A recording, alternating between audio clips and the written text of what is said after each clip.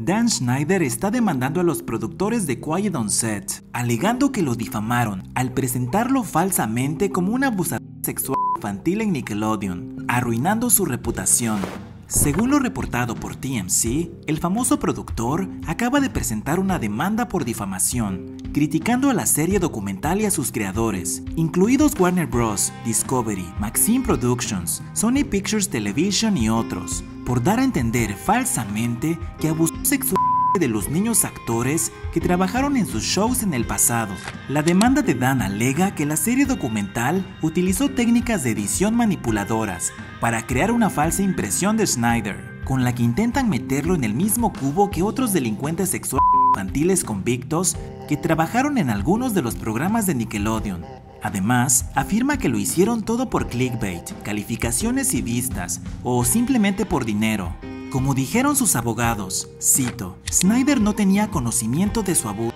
no fue cómplice del abuso,